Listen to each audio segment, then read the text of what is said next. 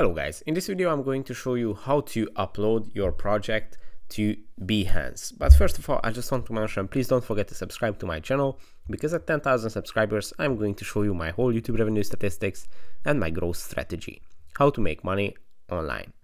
So let's jump into it. First, open the Behance app, then go to your profile section, which is on the bottom right corner.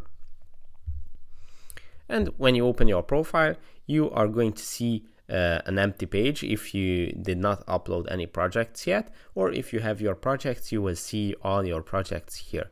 Now tap on the plus icon, and from here you have to uh, you have to set up everything, every single detail of your project. First here you can upload a cover image for your project by tapping on the plus icon and you can use your camera which I would not recommend but you can upload your photos from your device or your uh, iCloud. Then you have to add a title to your uh, project. Here you have to add tags which is very important. If you add relevant tags to your project people are going to find it uh, a lot easier so you have more uh, impressions.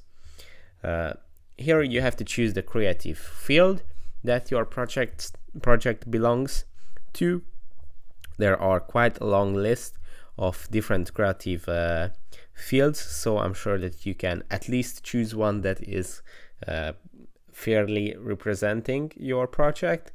Then tap on the advanced settings and here you can set up all these all these uh, details about your project you can add a project description you can uh, uh, add the tools that you have used uh, for this project. You can uh, tag a co-owner of your project copyright situation all rights reserved or you can set it to attribution non-derivative or all these different copyright situations.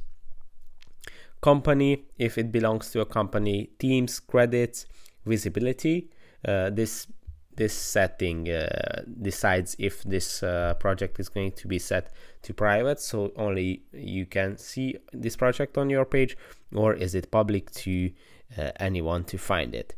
You can also disable the the comments and if your project contains adult content you have to turn this switch on.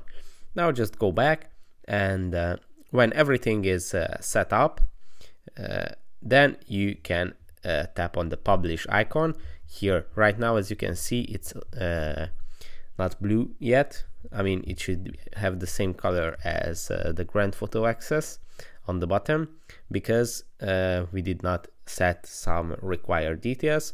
But when you have filled all the all the settings then you can tap on publish and your project is going to appear on your uh, profile page and in the search results of other Behance users. So yeah, that's pretty much it for this video. I hope it was helpful for you. If it was, please consider subscribing and see you in the next one. Bye bye.